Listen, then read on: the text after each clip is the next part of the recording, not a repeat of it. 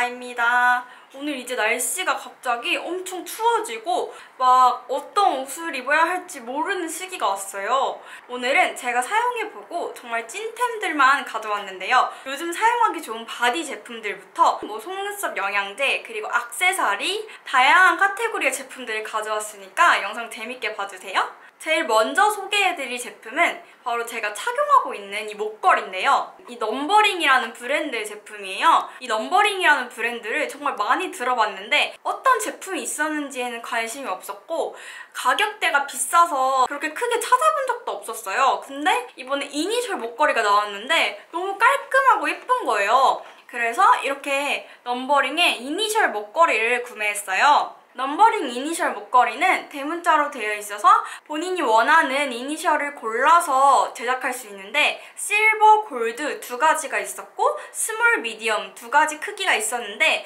저는 small, 골드 C로 구매를 했어요. 옆면에는 넘버링 로고도 박혀 있어요. 끈 길이도 두 가지로 조절할 수 있었는데 저는 보통 짧게 매주고 있어요. 그래서 제가 목걸이를 딱 이거를 보고 나서 아 이거 너무 예쁘다 생각해서 구매하려고 들어가 보니까 가격도 너무 비싸고 그리고 저의 이니셜은 좀 품절인 거예요. 의미를 부여하자면 여권 본명에서 따온 제일 앞글자인 C를 제가 이렇게 했어요.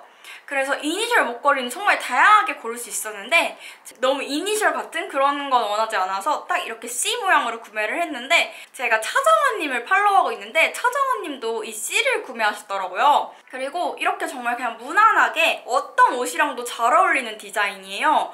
이렇게 끈을 두 가지로 짧게 맸다가 길게 맸다가 할 수 있는데 저는 보통 좀 완전 브이넥 가디건 입을 때는 이렇게 길게 늘려주고 이렇게 라운드 넥을 입을 때는 좀 짧게 매주고 있어요. 무난하게 daily로 하기 좋은데 특히 가을철에 하기 좋은 것 같아요.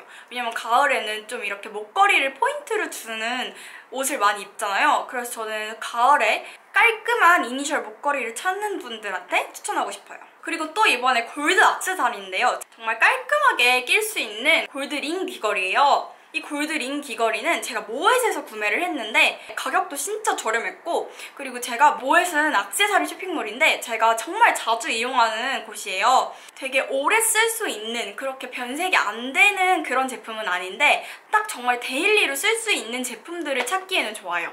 모엣의 링 귀걸이는 이렇게 끝이 약간 잘려있는 디테일로 오히려 동그란 링 귀걸이보다 이렇게 꼬여져 있는 게 포인트로 더 예쁘더라고요. 그래서 이거를 이렇게 대보면은 제가 귀가 진짜 많이 작은 편이거든요. 근데도 엄청 작지도 않고 엄청 크지도 않아서 딱 적당하더라고요. 그 착용을 해보면은 이게 끝에가 이렇게 막혀있지 않잖아요. 그래서 이렇게 뚫려 있어서 오히려 하기가 더 편하더라고요. 그냥 daily로 진짜 하기 좋은 그런 디자인인 것 같아요. 딱 이런 느낌? 이렇게 두 쪽 다 착용을 해줬는데 제가 원래 악세사리를 그렇게 좋아하지 않거든요? 귀걸이도 그렇고 목걸이도 그렇고 하나 하면은 정말 무난하고 정말 조그만한 펜던트를 가진 어떤 옷에도 어울리는 그런 디자인을 하고 거의 한 1, 2년을 똑같은 것만 껴요.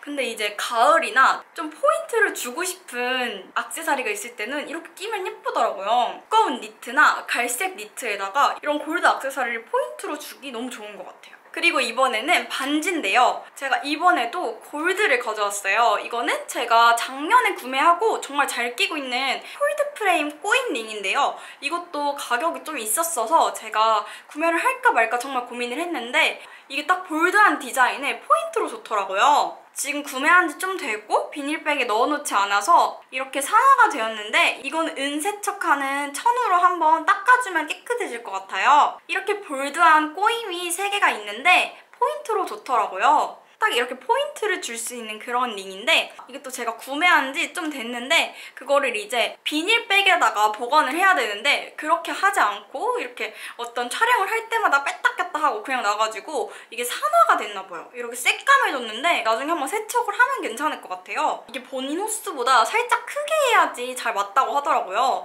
그래서 저도 본, 제 호스보다 살짝 크게 하니까 이렇게 두 번째도 잘 맞고 세 번째에도 이렇게 쏙 들어가는데 저는 보통은 이렇게 두 번째에 끼는 걸 좋아해요. 오늘 이렇게 귀걸이랑 목걸이랑 반지까지 골드 아이템을 보여드렸는데요. 저는 평소에 여러 가지 액세서리를 사는 쇼핑몰은 모эт이고 그리고 좀 이렇게 브랜드 있는 거를 사본다 하는 거는 이렇게 좀 유명한 브랜드에서 구매하는 걸 좋아해요. 넘버링이나 이렇게 폴드 프레임 좀 bold하게 포인트를 주고 싶으신데 너무 부담스럽지 않은 그런 골드 액세서리들로 추천하고 싶어요. 그리고 제가 요즘 너무 잘 쓰는 향기템이랑 보습템도 소개해드릴 건데요. 제일 먼저 이건 바이레도 바디워시 모하비 고스트 향인데요. 제가 원래 이 모하비 고스트 향을 너무 좋아해서 제가 이걸 향수로도 진짜 잘 쓰고 있었는데 이게 향이 약간 머스크 향도 나고 wood 향도 나고 베리 향도 나면서 좀 여러 가지 섞여 있는 향이에요. 그래서 제가 이걸 사계절 내내 뿌리기 좋은 향인데 이 향을 너무 좋아해서 이렇게 바디워시까지 구매를 했어요.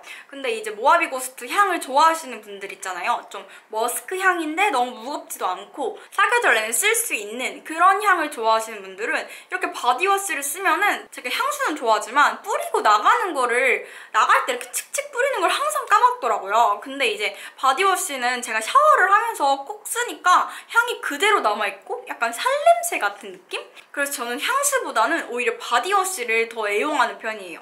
그리고 바이레도가 그렇게 향이 금방 날아가지 않아서 이렇게 바디워시도 은근히 오래 가더라고요. 그래서 바디워시로 먼저 샤워를 해주고 그 다음에 나가기 전에 향수까지 까먹지 않고 뿌려주면 은 그 날은 이 Mojave Ghost 향을 온전히 느낄 수 있어가지고 좋더라고요. 그리고 이제 제가 가을마다 꼭 쓰는 핸드크림인데요. 이거는 딥디크 핸드크림 Eau Rose라는 향이에요. 제가 손을 여기를 그 거스럼이라고 해야 되나? 이 옆에 살을 엄청 뜯어요. 그러면 이제 또 피나고 이게 반복이 돼서 이렇게 갖고 다니면서 발라주고 있는데요. 딥디크 핸드크림은 이렇게 뚜껑을 열어주면 펌프식으로 돼 있어서 양 조절하기도 쉽고 손톱 큐티클 부분에만 바르기도 좋아서 사용하기 편하더라고요.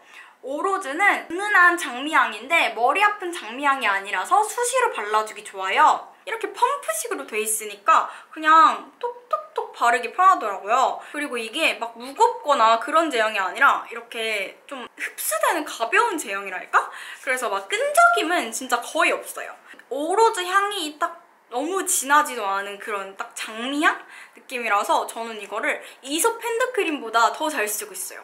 이솝 핸드크림은 약간 꾸덕한 느낌이라면 이거는 그냥 이렇게 샥 바를 수 있는 세럼 같은 크림 느낌이 강해서 daily로 꾸준히 바르기 좋아요. 그리고 저처럼 손톱을 자주 물어 뜯으시는 분들한테 이렇게 조그만하게 돼 있잖아요. 그래서 이렇게 손톱 부분에만 이렇게 콕콕 발라서 이렇게 손톱 큐티클 위주로 문질러줘도 편하더라고요. 그리고 이건 디자인도 너무 깔끔하잖아요. 요즘 딱 건조한 시기에 선물용으로 추천하고 싶은 핸드크림이에요. 이제 바디워시를 소개해드렸다면 요즘 날씨가 정말 건조해서 빠뜨릴 수 없는 제가 샤워 후에 꼭 발라준 바디 버터인데요. 이 바디 버터의 원조인 더 바디샵의 바디버터는 한 번쯤은 들어보셨거나 봤을 거예요. 저는 특히 가을, 겨울에 피부에 각질이 많이 올라오는 그런 닭살 피부예요. 그래서 보습이 정말 필수라서 요즘 제일 잘 쓰는 제품이에요. 더 바디샵의 바디버터는 저도 예전부터 정말 잘 사용 중이었는데 1992년 첫 출시되어